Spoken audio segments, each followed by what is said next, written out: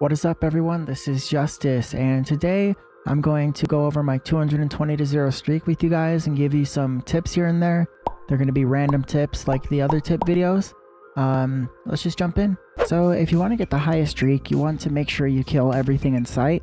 That's why I have my chat off and I don't play with friends usually. While I love playing with friends, the reason why I don't is because one, there's less kills to get when your friends are also streaking, and two, you also have to be careful that you don't kill your friends on accident if you guys attack the same player, for example. And that right there can cause a second of indecisiveness, which will get you killed. And that's happened to me many times. Whenever I'm on top of the Darkheart Mountain and someone's trailing me, I usually go Shadow Sphere before they can see me, and then as they're dropping on top of the platform, I get them when their arms are in the air. Right here, my Shadow Sphere was going to run out before then, so I saw he was going to be jumping on the, the highest tramp, and I knew that I was going to be able to reach out over the ledge and get him. Now this is also why I never use that trampoline to jump on top of the Darkheart Mountain. As you can see right here, you can use the second to highest tramp and you can make it all the way to the top. So right here, I saw someone coming over from Darkheart Mountain I decided to Shadow Sphere. I realized I'm gonna have to blink in and out. I decided it would be better to grab a touchstone, pretend like I touchstoned, but really go Shadow Sphere, and then attack him. I always use the Ghostwalker when jumping on tramps to jump very high in the air.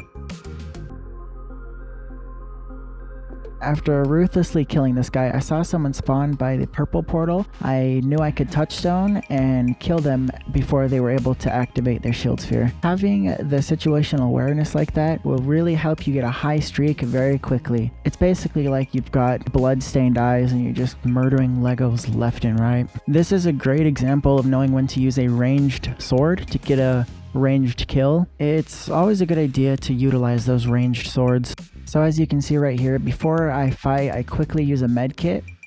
This is just to ensure I don't die or tie with anyone. This is your friendly public service announcement reminding you to always have extra medkits.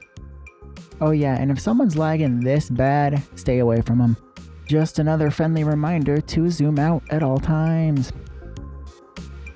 So after killing this guy, I see someone right outside of the white portal and this is a good technique. If you see someone outside of a portal, exit the portal swinging. They will never see it coming. Like I was saying, guys, I usually don't spawn kill people, but when I'm trying to streak, it's a must. Some people would say that spawn killing is cheap, when in reality, you want to be more careful than anything around people that are just spawning in. That's how I lost this streak, was dying to someone with a 3 second force field.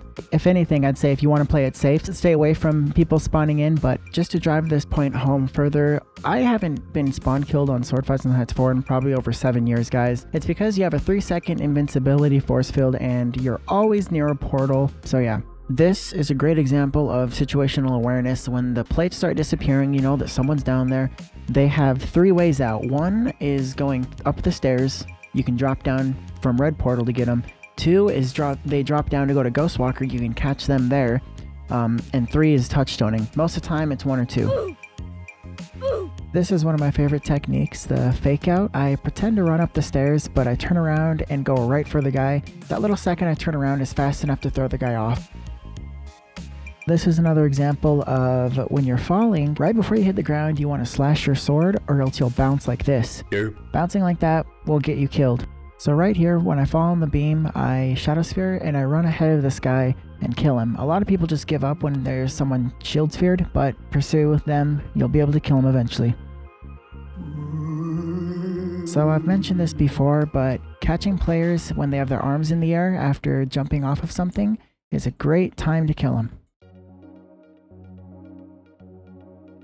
So for some reason people think when they spin and slash their sword it's it protects them. It doesn't. Another example of waiting to strike when they are landing and have their arms in the air. So there's not really too many tips to give right here, so I'm going to talk about just a general tip.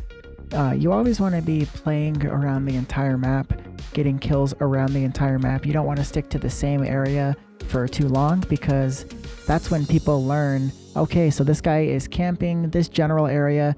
I'm to go over there and get as many chances at ending his streak as I possibly can. So this guy was using the double Illumina glitch, which is not viable on this version. Just zoom out. He also tried dropping the med kit on me to try and kill me that way, which it's a decent technique to use, dropping a med kit or a link sword, but I mean, I very, very seldom use it to kill streakers because chances are you're to have a better chance at killing them by just 1v1ing. And if I am to use that technique, I drop the item right in front of them, or I'll drop it at the bottom of a conveyor belt where I know the person's to inevitably end up, etc. So one of my favorite techniques is to lunge and swipe my sword back to back. This allows you to get multiple lunge hits on someone and it also gives you more lifesteal than just getting a single hit. You can see how when I hit this guy, instead of only damaging him once, I damage him three different times to kill him. Uh, learn how to do this guys, it's a really good technique. So right here I saw someone over by Ghostwalker, so I went down there and I was going to try and catch him on the tramp. I missed, so I decided to fly up in the air and try and get them in midair. And I actually got very close to killing this guy. Uh, I don't even think he saw me up there. But I noticed he was going over towards Windforce, so I went up and tried to, you know, either sneak up on him or just kill him. He jumped away and I pursued and I finally killed him. It was just a funny moment of hunting this guy down for absolutely no reason at all. So this is going to happen if you're streaking on Nostalgia Zone especially, but eventually the entire server leaves. You can either drive them to leave by killing them repeatedly, or it just happens. Uh, I went in the safe room and I just waited for people to join back up. While I was waiting for the server to repopulate, this guy tried pushing me out uh, when I was AFK. He didn't realize I was watching, and so I just kept killing him after that. I always watch your monitor, guys, and if people try and pull that stuff, what I do is I target them and I continuously kill them over and over again just to try and teach them a lesson, I guess. So again, attacking when someone jumps is a good idea.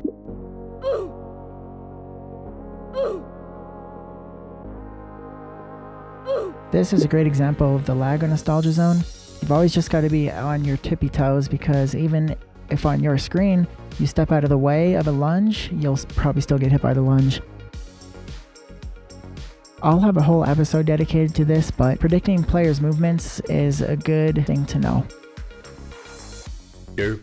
So the same kid who was trying to push me out, I noticed he kept trying to portal kill people, so I decided to just uh, give him a taste of his own medicine. It's a good idea to just fight fire with fire in that instance, guys. So again, I wait for this guy to land on the ground with his arms in the air to attack.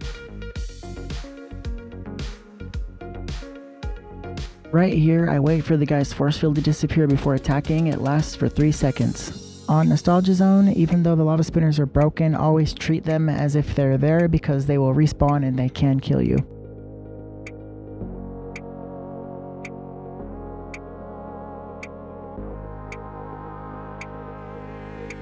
So if there's a huge fight with multiple people and you're streaking, sometimes it's best just to wait for the last person and kill them. This may seem like common sense, but it's best to try and predict someone's movement so you can catch them. Now, I've literally been saying this tip since 2012, but attack a player when they are above you on this game. So here's another example of a player constantly going in and out of a portal for whatever reason. Just killed him. Why not?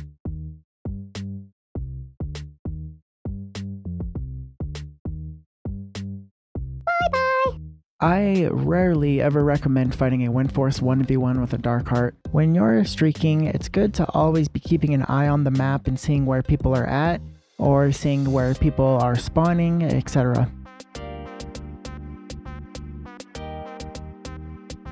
Now I've said this tip way too many times, but always learn how to drop on the beam while shadow sphered. It helps to drop on the little cross in the beam as well. Oftentimes I will spin while killing a player even if I don't need to because it will protect me if someone is trying to kill me and they're shadow sphered. It also allows me to get more than just one lunge hit on the enemy. This is a friendly public service announcement reminding you to always leave portals with a shield sphere. So on Nostalgia Zone, the ladder is pretty hard to climb. Always expect people to drop off of it at least once or twice. So I always tell people that most of streaking is just playing it safe, and that's true. Um, however, there is a little bit more to it than just that. Knowing what swords to use in certain circumstances and what items to use to counter other items is, is important. So, for example, Ice Dagger is countered by Firebrand, Venomshank is countered by Darkheart and Medkits, uh, leaving portals with shield spheres, etc.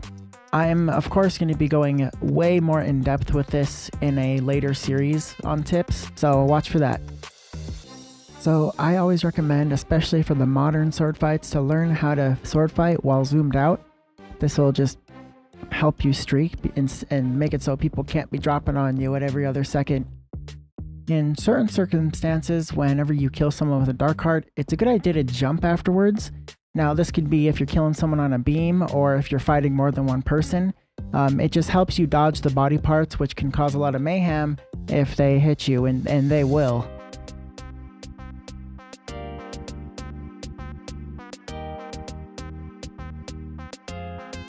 Yoink.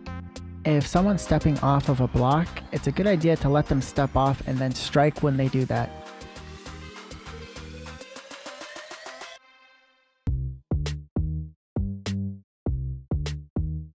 You can see right here I put some distance in between me and the guy with the force field because force field players are your number one enemy, or at least one of your top three.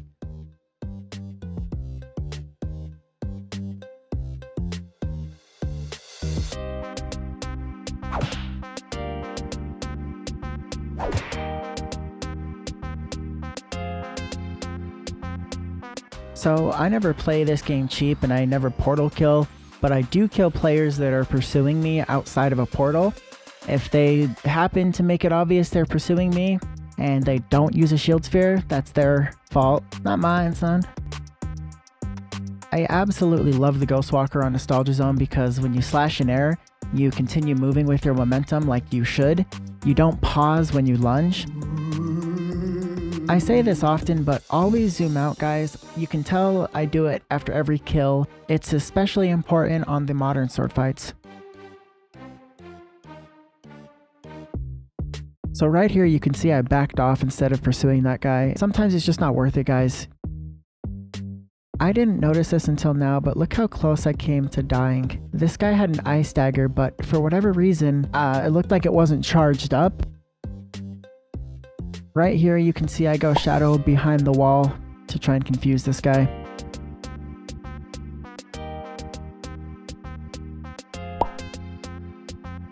Surprise, motherfucker! This next clip is a great example of the lag on this game. I killed this guy, but it didn't register for another couple seconds, so it looked like I was about to die.